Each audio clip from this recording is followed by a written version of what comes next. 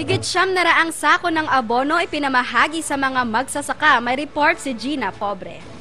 Bilang ayuda sa mga magsasakang naapektuhan ng nagdaang bagyong Karen at Lawin, nagbigay ng libreng abono ang, ang Food and Agriculture Organization o FAO sa pamamagitan ng City Agriculture Office noong ikawalo ng Pebrero.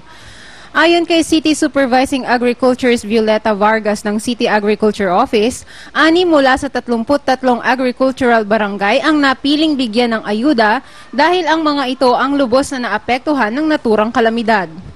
Kaugnay nito aabot naman sa mahigit apat na raang magsasaka ang nakatanggap ng tig dalawang sako ng abono na magagamit nila sa susunod na cropping.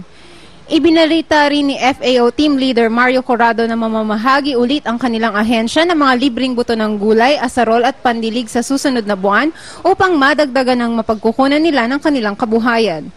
Samantala, ipinabot naman ni Mayor Cocoy Salvador ang kanyang pagbati at pasasalamat sa pamamagitan ni Assistant CPDC Romeo Yacan Jr. kung saan sinabi niya na malaking tulong ito para sa mga magsasaka upang kahit papanay makabawi sila sa mga nasirang paninim noong nakaraang taon. Pinuri din ni Ginoong Yacan ng mga technician dahil sa maagap nilang pagtukoy sa mga barangay na lubos na naapektuhan ng kalamidad. Nagpasalamat naman ang mga benepisyaryo sa tulong na kanilang tinanggap at maasa silang magiging maganda ang resulta nito sa susunod na taniman. Dumalo rin sa nasabing pamamahagi si Dr. Eva Fernando na Region 3 Agricultural Program Coordinating Officer. Para sa Balitang San Jose, Gina Pobre.